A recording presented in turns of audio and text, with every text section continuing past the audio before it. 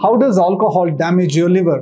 When you drink alcohol, the alcohol gets filtered through the liver. So the liver has to work hard to break it down, remove it from your body.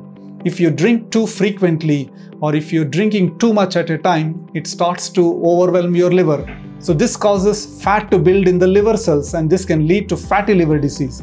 So this is the first step towards the damage that starts silently. If you continue to drink regularly, then it starts to cause inflammation, irritation to the liver and scarring, damage which progresses from what we call as steatosis to cirrhosis which makes it hard for your liver to work properly. Severe damage or permanent damage to the liver is what we call as cirrhosis.